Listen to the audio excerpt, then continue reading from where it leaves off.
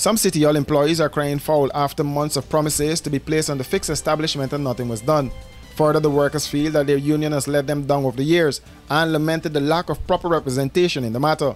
Now the fixed establishment will see them being eligible for pension upon retirement. Most of those employees work at the Stone Depot on Princess Street and have more than 20 years of service. What has happened recently is not sitting well with the workers. Well, for me, I'm not satisfied with this because it's a, this is a serious concern. For the years, there is the council. I know the Cathy labor law. Last worker meet on the job for three months. Entitled to go on the fix. But I never hear thing can and fix yet in my life yet. And all these years working here, this year make it 29 years to me. And it's not fair to me. God said until I pass age, so I can't go on the fix. And I, I'm not happy about it. The concern up to 27 years a year is unfair to me that other people come after me going to fix. And it's unfair to me when everybody left. It's them getting a benefit and I can't get and it's unfair to me for where the guy now with this council. Well, so far we went to the labor, we go to the mayor and the union, we was have a meeting concerning that the mayor said he ain't no going up on this fixed thing. And so far we've seen people that who come after we gone on the fix.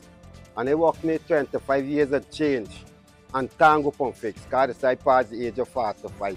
According to the workers, some of their colleagues who are under 45 and opted to go on the fixed establishment were told that they will lose their years of service. Really sad because with it, you gotta give up your service, then you're starting fresh from when you sign.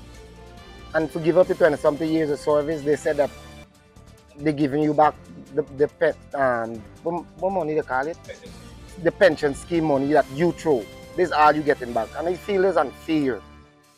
Unfair, really unfair. No, the one never really gave no represent help and he never. All he just sent, he trying to see what they could do, he trying to see how they can make it out and everything. City Mayor Alfred Mentor said the issue has been ongoing since 2006 and the court has ruled on the matter. He said while the staff has legitimate claim, the council's lawyers will look into the matter. There was, yes, there was an order made by Prem Prasad in the arbitration, but that did, was not held up by the, the court at the time through the Justice Chang at the, at the level of the High Court. There were a number of things that he didn't grant, that was prayed for, a number of things that he, that, that he didn't really treat with. So I have uh, the, the information before me, which was provided by Mr. Duncan, and I will ask our attorneys to look at this matter. It's something that I personally, as mayor, would obviously want to, to sort out.